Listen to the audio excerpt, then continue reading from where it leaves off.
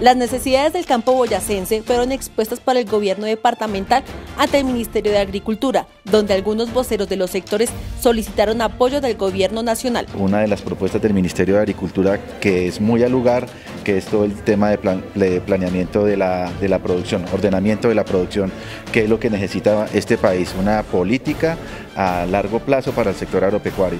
Y en ese sentido hemos planteado eh, algunas propuestas que cubren todo el tema eh, de asistencia técnica, el tema comercial, pero todo en el marco de los encadenamientos productivos eh, que da sostenibilidad al subsector.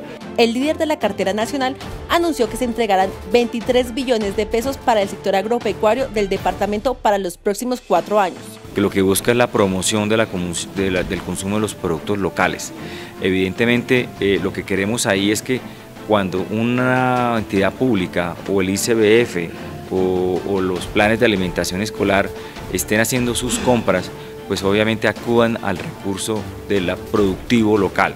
Pero lo que sí queremos promocionar es una cosa mucho más ambiciosa y es que el producto local sea comprado en las zonas en donde se estén produciendo y que no tengamos que traer eh, a, una, a una casa del ICBF, un plan de alimentación escolar, productos que no se produzcan en Boyacá. La idea es que se fomente la producción local. Al igual que todos los sectores, los paneleros por su parte esperan el respaldo del gobierno nacional para que este producto sea consumido en todo el país.